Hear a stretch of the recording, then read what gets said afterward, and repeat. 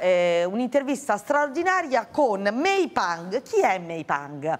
È la eh, fidanzata, la compagna di John Lennon, fu con John Lennon per diverso tempo, per 18 eh, mesi se non erro, e fu proprio Yoko Ono, che era all'epoca sua moglie, a, diciamo così, mettere l'uno nelle braccia dell'altro. Ora lei è protagonista di un eh, documentario che si chiama The Lost Weekend, che è stato presentato al Festival di Tribeca newyorkese ed è qui con noi. May Pang, grazie davvero per essere con noi in diretta da New York. Benvenuta. Grazie Veronica. Good morning. For me, Buongiorno a anyway. voi. Good morning. Mi piacciono i tuoi capelli viola, Bella. May. Bella. Bella, oui. Thank you. Beautiful. Grazie, grazie mille. Allora, torniamo indietro, torniamo indietro nel tempo, alla storia raccontata anche nel documentario. E ehm, per tornare indietro torniamo a questa canzone Instant Karma, canzone del 1970, qui si intravede anche Yoko Ono bendata che fa una performance. Tu all'epoca a New York eri la loro segretaria. Vediamo.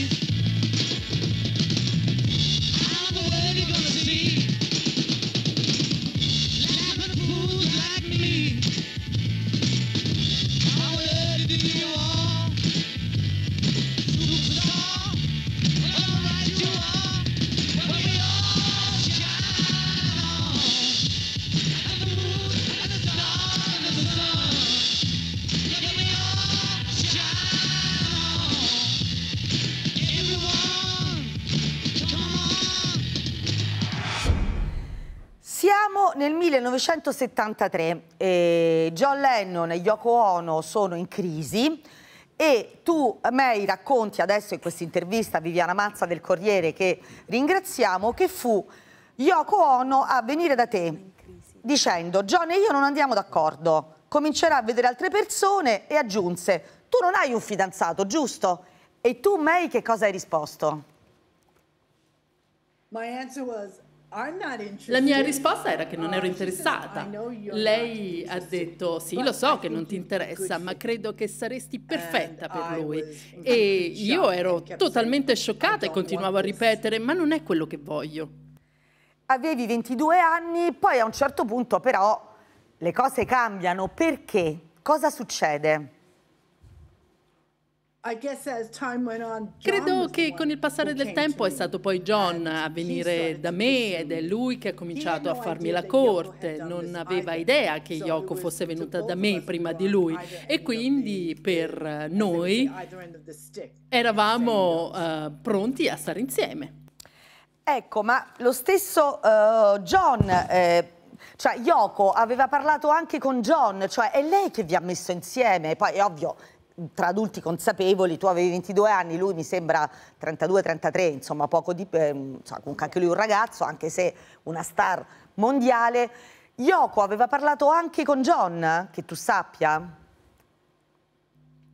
He, he told me later John mi ha detto in un secondo momento che Yoko "I gli aveva detto you." "Oh, te l'ho preparata "What are you io questa storia e understand." lui ha risposto Oh, di cosa stai parlando non capisco e lei ha detto penso che dovresti uscire con me e lui ha "What- detto cosa? perché that?" pensi una cosa del said, "Oh, genere? E lei ha you." detto beh penso che sia una buona partner per te. Eh, ma diciamo, prima cosa John come ti corteggiò?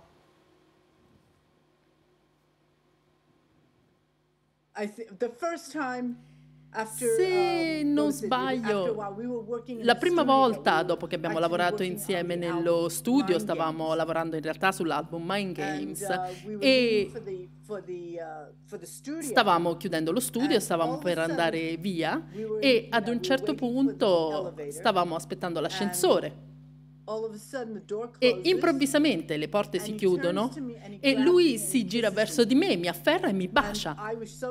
E sono rimasta completamente "Just stand scioccata, stupefatta e mi sono allontanata. Ho detto non ti avvicinare, stammi lontano perché davvero non capisco che cosa stia succedendo. Poi però ci siamo messi a ridere e "Oh, credo di aver detto no, no, happening." no, non succederà proprio nulla tra noi due. E lui aveva questa smorfia da ragazzino impertinente che era riuscito a rubarmi il primo bacio. E siete stati insieme 18 mesi. Tu ti sei innamorata di John? Sì, assolutamente mi sono innamorata di lui. A- it was over time, it wasn't instant. È stata una cosa che si è sviluppata nel tempo, è cresciuta nel tempo. Gli volevo bene come persona, poi ero stata una loro dipendente per Um, circa tre anni. E quindi lo conoscevo abbastanza bene, ma la situazione era cambiata e comunque all'inizio io non avevo nessun tipo di intenzione Um, di stare con lui perché amavo il mio lavoro, eh, mi piaceva fare quello che facevo, mi piaceva la musica ed era una cosa a cui non pensavo assolutamente. Lui è stato il tuo primo fidanzato? Ho letto da qualche parte. Yes. Sì, è vero, è stato il mio with. primo fidanzato e la prima persona con cui sono andata a convivere e con cui ho passato con- così tanto tempo. Com'era come fidanzato? Com'era come partner? Eh, come amava John Lennon? Well, I mean, he's. You know what? He was. A, he was like a little boy. in Era come un now, since he was early 30s, ragazzino, anche like se aveva poco più di 30 anni. uh, early 20s, Ma era come se ne avesse poco più di 20 experienced perché uh, abbiamo dove vivevamo a New York, a Los Angeles, in queste città dove abbiamo vissuto appunto era la prima volta che ci andavamo insieme, quindi facevamo tutte le cose per la prima volta come se lui non le avesse mai fatte, perché d'altra parte quando era un membro dei Beatles era sempre controllato, eh, poteva solo oh, andare da un punto all'altro con una macchina, andava da una stanza d'albergo all'altro oppure in uno studio di registrazione per lavorare. Stavolta invece eravamo solo io e lui, avevamo molta più libertà, potevamo andare a trovare degli amici, potevamo andare al ristorante. Eh, io guidavo perché eh, lui non lo faceva, è stato divertente. Ecco, ma tu non ti sei mai sentita usata? Cioè, quando hai saputo che, diciamo, Yoko aveva parlato anche con John, dopo aver parlato con te, non hai pensato che, diciamo, vi aveva manipolato? Anche perché poi Yoko Ono se l'è ripreso.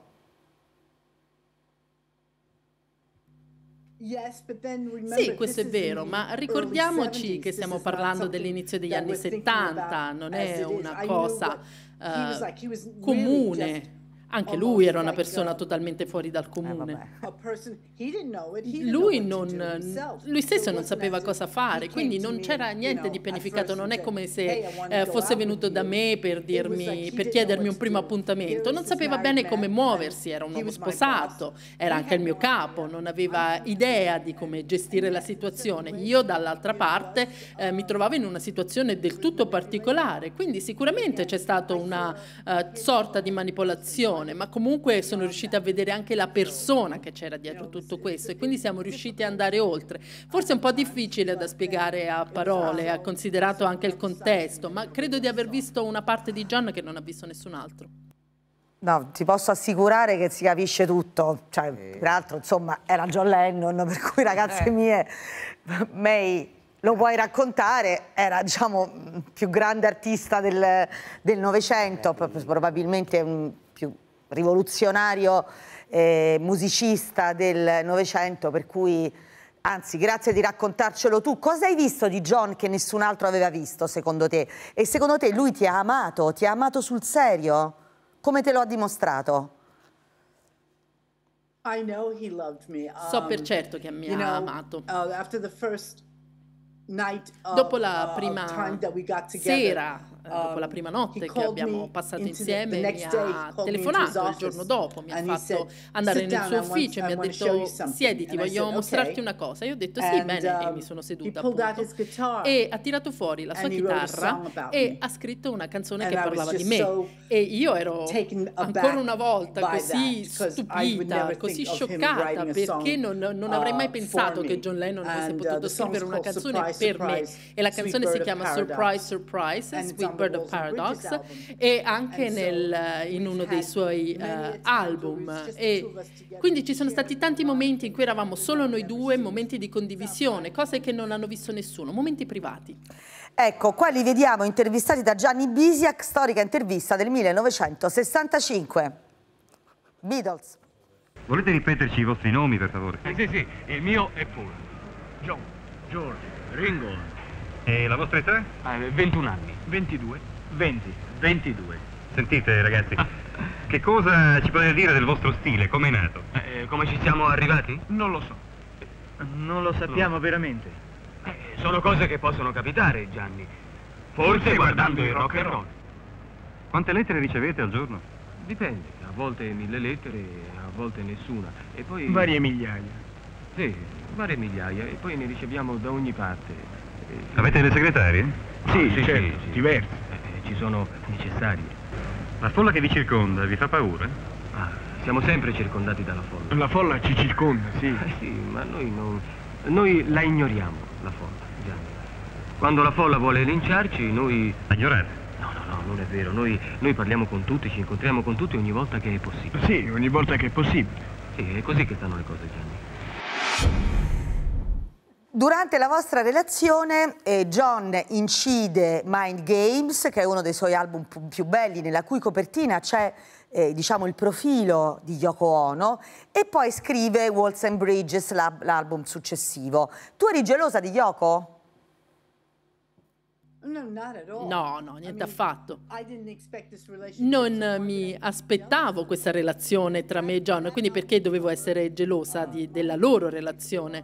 La copertina di Mind Games di cui abbiamo parlato è stata stampata prima ancora che ci conoscessimo e me lo aveva raccontato e mi ha detto non so perché ho creato questa immagine, era una cosa che mi piaceva e quando eh, stava scrivendo l'album eh, ha detto non so perché eh, ne- mi sono allontanato da, da Yoko Ono e poi ha deciso di fare quella copertina, di scegliere quell'immagine per la copertina e quindi è stata una cosa che è stata decisa in un momento diverso. E peraltro poi in quel periodo, ehm, insomma, lui ha raccontato, John raccontava anche di tossicodipendenza, eroina, alcolismo. Stava così male, John?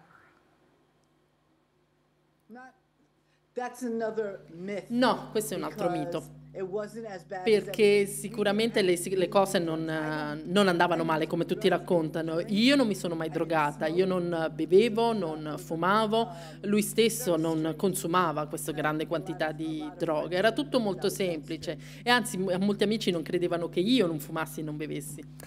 E peraltro in quel, in quel periodo però c'è anche un periodo anche super creativo e c'è eh, l'ultima volta che Paul McCartney e John Lennon suonano insieme avviene proprio quando c'era anche lei nella casa al mare di John a Santa Monica, Los Angeles, c'erano anche David Bowie ed Elton John. Cosa accadde? Mamma mia.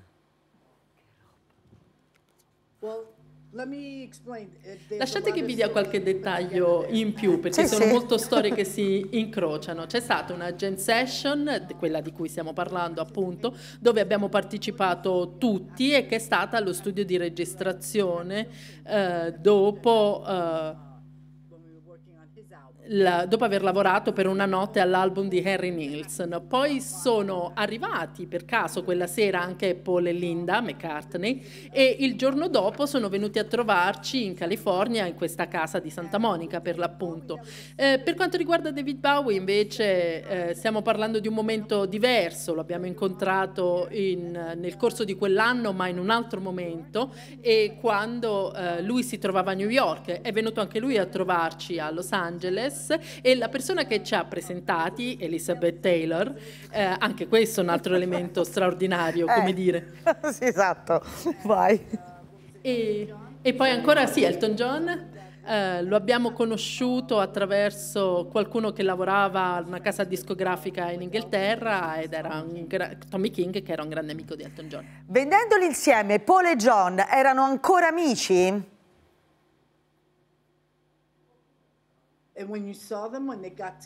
Quando si incontravano, quella volta che li ho visti insieme era come se non fosse successo nulla, è come se si vedessero tutti i giorni, erano come fratelli. E si chiedevano allora come stai, come se si fossero visti il giorno prima, non c'era ostilità, non c'era astio, erano contenti di vedersi. Eh. Allora, racconti anche, sempre in questo poi documentario alla quale diciamo Yoko Ono non ha preso parte, di aver avuto un ruolo importante per ricucire eh, Cin- Cinzia e il figlio Julian e poi E dici anche che Yoko evitava, John, evitava di passare a John le telefonate di suo figlio Julian, cioè li teneva divisi, teneva John diviso dal suo primogenito? Well, Quando lavoravo per loro c'è stato un momento in cui non potevo passare le telefonate a John, quelle telefonate a. John e quindi Uh, eh, appunto rimanevano senza risposta e per me era importante che John vedesse suo figlio perché era importante anche che suo figlio vedesse suo padre. e quindi è per questo che sono orgogliosa del fatto che ho cercato di farli riavvicinare. Per quanto riguarda Cynthia, so che non c'era stata una vera e propria chiusura dopo il divorzio e quindi eh, gli è stata data l'occasione, diciamo così, di, di parlare delle loro emozioni, dei loro sentimenti in quel momento ed è stata una cosa positiva perché così John non ha avuto più quella sensazione di eh, ansia, di pressione ogni volta che lei eh, chiamava per parlare con John di Julian o di cose che avevano in comune, si sentiva molto più a suo agio. Quando John se n'è andato, oh, lei ha sofferto, tu hai sofferto, May? Oh. Sì, assolutamente, molto. È come quando c'è una rottura, e la- stiamo parlando sempre della prima persona che è stata così importante nella mia vita. È una cosa molto difficile ed è anche più difficile nel mio caso perché a volte mi telefonava e mi chiamava per dirmi vorrei vederti, mi manchi, quindi è stato tutto molto difficile. E quando è morto anche noi non c'è stata una vera e propria chiusura, non ne abbiamo avuto l'occasione e quindi eh, io poi alla fine eh, non ho avuto con lui la chiusura che ho permesso a lui di avere con altre persone. A tutt'oggi sono molto triste per eh, questo, ma sono eh, circondata anche dalla sua musica che mi dà conforto. Certo, l'ultima cosa, ma lui come ti disse? Guarda May, torno da Yoko, ciao, come te l'ha detto? And, and I'm sorry, and uh, how did he word? Ah, he said, um, he said to me, Quando è andato via mi ha uh, detto che pensava uh, fosse meglio, che quella decisione fosse meglio. anche per questioni di immigrazione perché ancora non aveva avuto la carta uh, verde, la green card e quindi sarebbe stato meglio per lui rimanere eh, fisso in un posto perché non erano ufficialmente divorziati, anche se avevano parlato di divorzio. Ma eh, era una cosa che poi non eh, si è realizzata e quindi per lui sarebbe stato meglio eh, tornare da lei. E tu hai detto, hai raccontato che quando hai salutato Yoko l'ultima volta che vi siete viste, tu le hai detto congratulazioni, hai riavuto John, dovresti essere felice. E lei rispose felice, non credo che lo sarò mai. May, ti ringraziamo e ti auguriamo tanta felicità. A te sì. Grazie per essere stata con noi oggi. Thank you. Grazie a voi, grazie mille. Grazie davvero.